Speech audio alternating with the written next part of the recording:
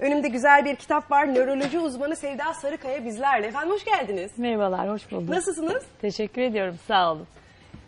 Son kitabınız Ya Evde Yoksam. Evet, Siz çünkü 17 yıldır Alzheimer Evet. üzerine çalışmalar yapıyorsunuz değil mi? evet.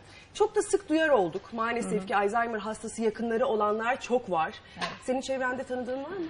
Ailede ya da. Yok ama ben e, sosyal e, e, etkinliklerde çok olduğum için e, sürekli onlarla birlikteyim. E, yani e, ve yakınım yani hani çok uzak değilim. E, Birebir görüyorum, yaşıyorum. E, Peki e, yaşlılarda görülen bir hastalık mı Alzheimer?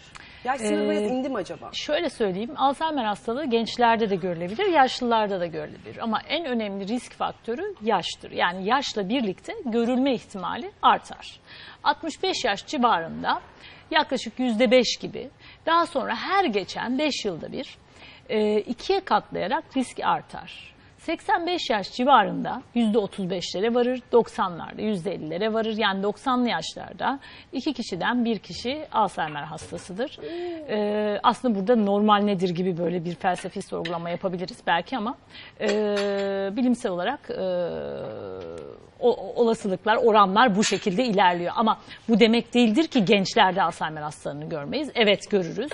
Ee, genellikle gençlerde görülen Alzheimer hastalığı genetik menşelidir. Alzheimer'in genetik menşei %1 ila 5 arasındadır. Çok fazla değildir. Pür genetik yani saf genetik menşeiden bahsediyoruz. Baskın genetikten bahsediyoruz. Ee, baskın genetik e, kökeni olan Alzheimer hastaları her jenerasyonda e, daha erken yaşa çekerek ortaya çıkarlar. Dedenizde 50 ise sizde 45, daha sonra 40 gibi. Devamı o gibi. şekilde geliyor. Evet, Öyle evet, olunca da evet. hal böyle olunca Ve daha zorludur. da iniyor. Daha zorludur genç Alzheimer hastaları. Ee, semptomları daha zorludur ve e, daha maalesef ki e, daha hızlı seyreder gençlerde görülen. E, ama şöyle bir şey var, e, şunu e, söylemek istiyorum. Şu anda e, toplumda unutkanlık çok fazla, gençlerde de Evet. var. E, ve e, ben ilk ilgilenmeye başladığım zamanlar insanlar çok şaşırıyordu. Neden bu hastalıkla ilgileniyorsun? İşte e, çaresi yok, işte kimse gelmiyor doktora vesaire. Ama zaman geçtikçe, unutkanlık arttıkça bunun önemi çok daha fazla arttı. Ee, baktığınızda çevrenize, üç kişiden bir kişi belki unutuyorum diyor. Ee, Türkiye'deki Alzheimer oranına baktığınızda yaklaşık 600 bin Alzheimer hastası olduğu düşünülmekte. Ee, bu hastaların e, nüfusa oranladığınızda binde 5. Hadi bunu yükselt yüzde bir gibi bir şey söyle. E, üç kişiden bir kişi unutuyor. Her unutan Alzheimer hastası mıdır? Ya da olacak mıdır? Hayır. Alzheimer hasta, unutkanlığın Alzheimer hastalığı dışı nedenleri çok daha fazladır. Biraz bunların da üzerinde durmak gerekiyor ve insanları siz Alzheimer olacaksınız diye özellikle genç popülasyonu korkutmamak gerekiyor. Son dönemde çok üzerinde durduğum ve e, bir önceki kitabımda siz de e, bahsetmiştiniz.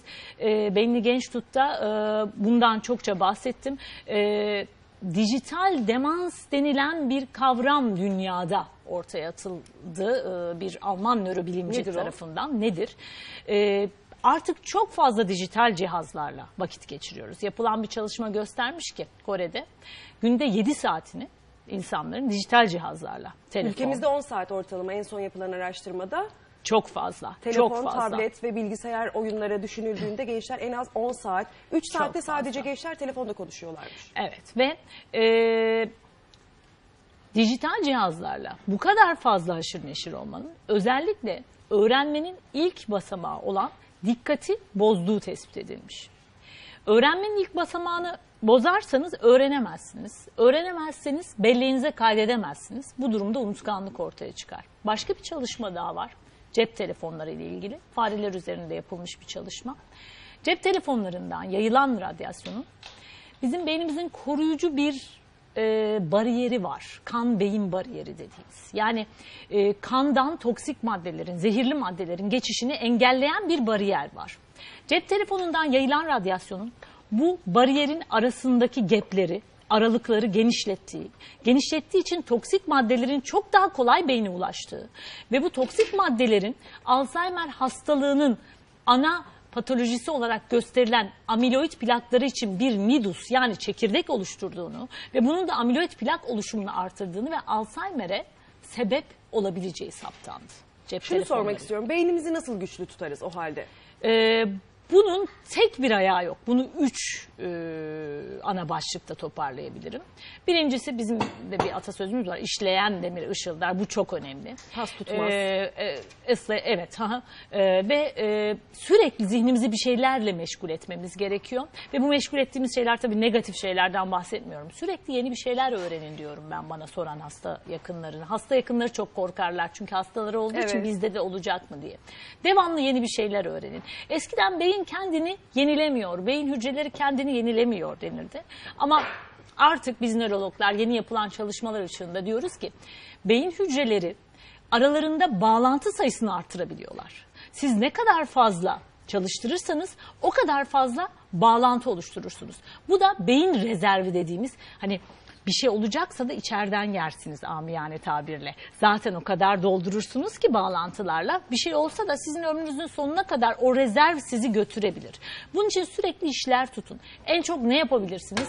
Ee, şunu çok önermeye başladım son dönemde enstrüman, yeni bir enstrüman öğrenin. Bu beynin her iki alanını da çalıştıran ve e, iki alan arasında bağlantılar vardır. E, bunu en fazla sağlayan e, egzersizlerden birisidir. Yeni bir dil öğrenmek keza onun gibi bir şeydir. Şimdi şöyle bir şey var. E, herkes aynı zihin egzersizini yapamaz. E, tabii. Her e, herkesin bir defa hobileri farklıdır, hoşlandığı, hoşlanmadığı şeyler farklıdır ve eğitim düzeyleri farklıdır. Bu durumda hayatı boyunca bulmaca çözmemiş bir insana, bu çok klişedir, ben bu klişeleri çok söylemiyorum. Hiç bulmaca çözmemiş bir kişiye bulmaca çöz demek çok doğru değil. Çünkü o insan ondan hoşlanmıyorsa yaparken strese girecek, stres Ama hoş bir şey değil. faydası var değil mi? Bulmaca çözmek, sudoku. Sudoku tarzının faydası var özellikle. Çünkü Sudoku'da daha farklı bir zihinsel Evet. aktivite var. Kare bulmaca bir süre sonra otomatize oluyor. Çengel bulmaca evet aynen öyle. Çünkü ezberliyor. Evet, tık tık o tık yazmaya Ama. Sudoku biraz daha farklı. Ee, bu durumda herkes kendi e, hoşlandığı şeyler çerçevesinde. Mesela ben e, ev hanımlarına ve biraz daha yaşı ilerice olan işte anneannelerimize, babaannelerimize e, el işini hiç bırakmamaları, özellikle yeni motifler çıkarmaları e, gibi onlara özgü egzersizler öneririm.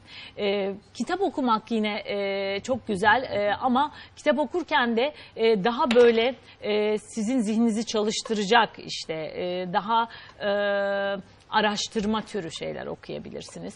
Günlük işte gazeteleri takip etmek yaşlılardan bahsediyorum. Yaş almış dostlarımız için çok iyi bir aktivitedir. E, yani öğrenme aşkınızı yitirmeyin. Ben özetle bunu söylüyorum. Spor etkili midir hafıza Evet. güçlenmesi için? Evet. Yürüyüş yapmak, yüzmek. Evet. Yani şimdi sporla ilgili geçenlerde bir ana haber bültenine bağlanıp sordular. Yeni bir çalışma yapılmış. Size de anlatmak istiyorum. Özellikle bunu çünkü çok ilginç sonuçları var. Kadınlarda yapılmış orta yaş e, kadınlardan 44 yıl takip edilmiş ve bu kadınlar belli spor e, dallarıyla uğraşıyorlar. Ağır spor, fit kalacak şekilde, formda kalacak şekilde ağır spor yapan kadınların, ileri Crossfit spor gibi. yapan kadınların %90 ihtimalle Alzheimer hastalığını olasılığının düştüğünü görmüşler. Bakın %90 çok yüksek bir şey. Ama tabii kim her gün bu bir antrenör eşliğinde bunu yapabilir? Evet. Ee, orta düzeyde egzersiz yapanlarda da %45 bu oranın azaldığı görülmüş.